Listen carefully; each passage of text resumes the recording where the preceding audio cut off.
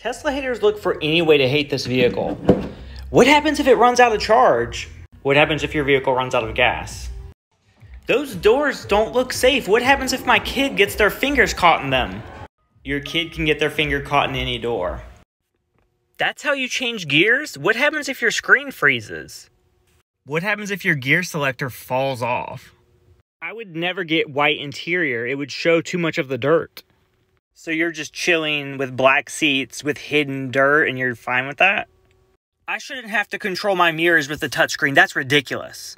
You adjust your mirrors once and you're good. Why would you need a dedicated button wasting space in your car for something you do once or twice? That's not safe having the air conditioner on the touchscreen either. That's ridiculous. I need a knob. I'm hot.